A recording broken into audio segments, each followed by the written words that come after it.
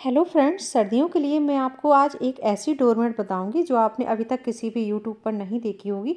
बहुत ही सॉफ्ट और देखने में बहुत ही सुंदर, एकदम ऑनलाइन डोरमेट जैसी लगती है। तो बहुत ही सुंदर तरीका है फ्रेंड्स, वीडियो को बिल्कुल भी स्किप मत करना। चलिए देखते हैं इसको कैसे बनाते हैं। इसके लिए लिया है हमने जो फर वाले लोअर होते हैं ना, वो ले लिया है। इस तरीके से फुल साइज़ का लोअर है और ये मतलब फट गया है तो हम इसका आपको बहुत ही सुंदर सा डोरमेट बनाएँगे। एकदम सॉफ्ट, गुदगुदा, बहुत ही प्यारा सा। और ये देखिए, अब इसकी कर लेंगे हम कटिंग और फुल साइज़ के में आपके बहुत ही बड़े साइज़ की डोरमेट बन जाएगी।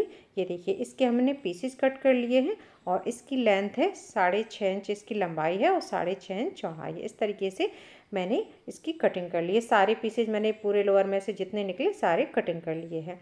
अब हमें इसके नीचे लगाने के लिए चाहिए कोई भी अस्तर तो इसके लिए मेरे पास एक बेडशीट रखी थी।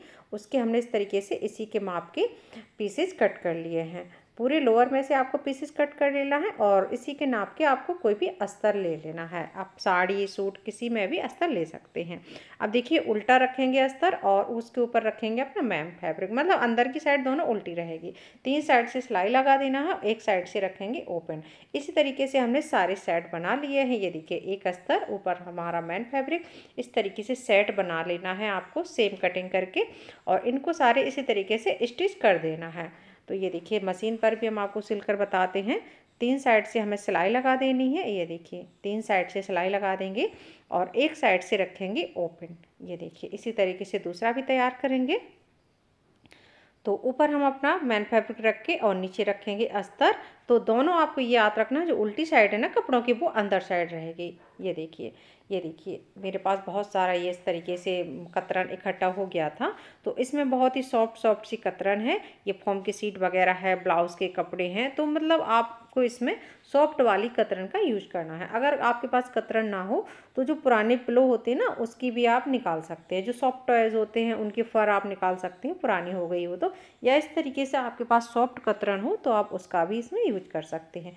चलिए अब देखते हैं आगे क्या करना है। जो हमने इस तरीके से पॉकेट बनाई है ना, तीन साइड सिलाई लगा के, इसी में ये कतरन को हमें फिल करना है। अगर आपके पास कॉटन है तो आप कॉटन यूज़ कीजिएगा। ये देखिए, इस तरीके से इसी में हमें भरना है। पूरा नहीं भरना है, आधा भरना है। देखिए कैसे भरना है। इस तरीके से हल्का सा एकदम अंदर जब हाथ डालेंगे तो मतलब पूरे पर इस तरीके से फैला देंगे। फैलाते हुए और यहाँ से सिलाई लगा देंगे। इसी तरीके से हम दूसरा भरेंगे और इस तरीके से हाथ से फैला दिया है। ये देखिए जितना मतलब ज़्यादा नहीं भरना है, इतना भरना है कि अच्छे से अंदर अंदर फैल जाए। और सिलाई लगा देंगे। तो देखिए, जो इसका खुला था ना एक साइड, उसको इस तरीके से बंद कर देंगे। तो ये हमारा पूरा कतरन इसमें अंदर बंद हो गया है और इसकी भी सिलाई लगा देंगे। अब देखिए, इसमें कैसे सिलाइयाँ लगानी है हमें?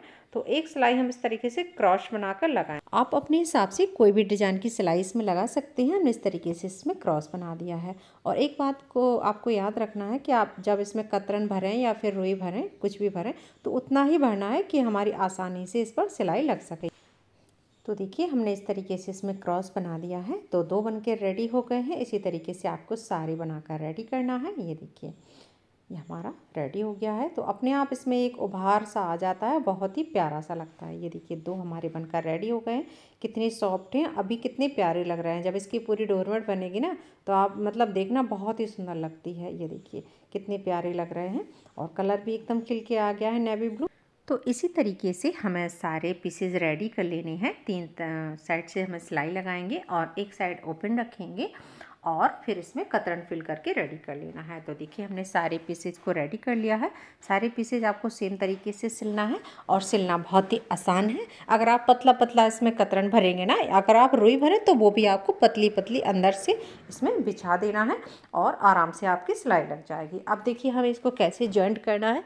तो मैंने तीन तीन पीसेज की इसको बनाई है। आप चार चार पीसेज की भी बना सकते हैं। तो इस तरीके से रखेंगे और सिलाई लगा देंगे। तो इसी प्रोसेस से हमें तीन तीन पीसेस को रखना है, सिलाई लगा देना है। तो ये तीन तीन पीसेस की हमें लेयर बना लेनी है इस तरीके से। और किनारी एकदम मतलब किनारी में तो कुछ भी नहीं भरा है ना तो आराम से सिलाइयाँ भी लग जाएँगी। ये देखिए, इस तरीके से हमें जॉइंट करना है। और सिलाई लगा देंगे इस तरीके से। तीन पेसेज की हमारी एक स्टेप इस तरीके से बन जाएगी। बहुत ही प्यारी लगती है और बहुत ही सॉफ्ट है, ये देखिए।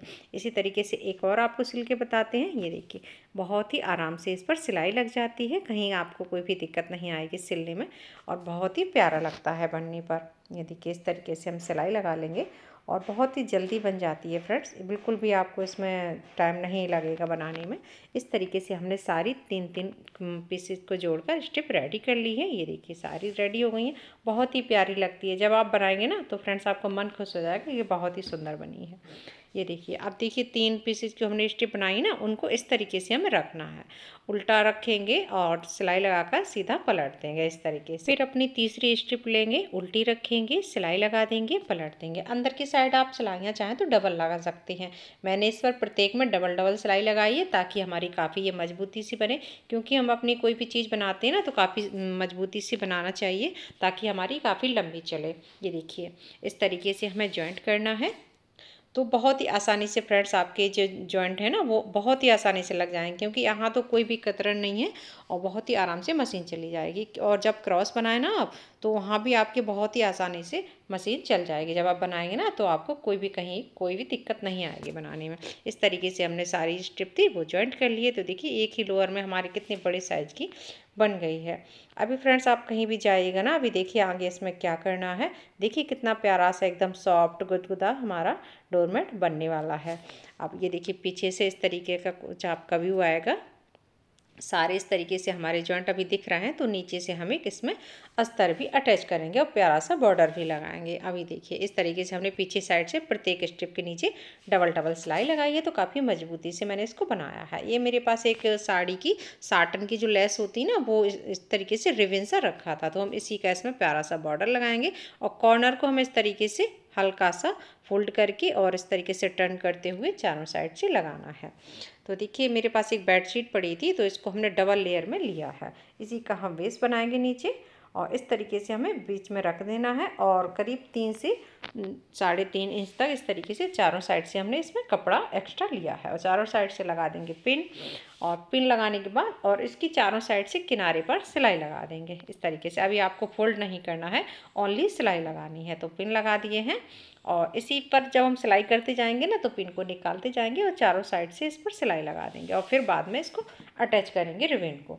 ये देखिए तो अब हम इस पर सिलाई लगा देते हैं। चारों साइड से हमने लगा ली है सिलाई। और ये देखिए, पूरे पर सिलाई लगा दी चारों साइड से। तो अच्छे से इसमें फिक्स हो गया है। अब कहीं भी आपको खिंचेगा हिलेगा नहीं।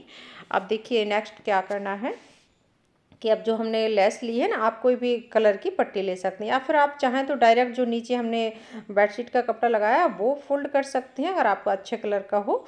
या फिर आप कोई भी अलग कपड़े की बॉर्डर भी बना सकते हैं। मैंने इस तरीके से बनाया है। अगर आपको ये वाला ट्राई करना है तो ये वाला तरीका भी आप ट्राई कर सकते हैं। इस तरीके से कॉर्नर फोल्ड करेंगे और चारों साइड से इस पर ये वाला बॉर्डर लगा देंगे। तो देखिए बॉर्डर लग गया है। अब देखिए क्या करना है। जो अस्तर का कपड़ा है ना, इसको हम फोल्ड करते हुए और इसी के नीचे, बॉर्डर के नीचे दबा देंगे। ये देखिए, बिल्कुल उतना ही हमें फोल्ड करना है जितना हमारा इसकी लेंथ है। तो बहुत ही किनारी से किनारी मिलाते हुए एकदम सिलाई चलाना है इस तरीके से। तो आपको पता भी नहीं चलेगा कि हमने बॉर्डर पहले लगाया है और फोल्ड बाद में किया है। ये देखिए, बहुत ही प्यारा सा हमारा बॉर्डर बनकर रेडी हो गया है।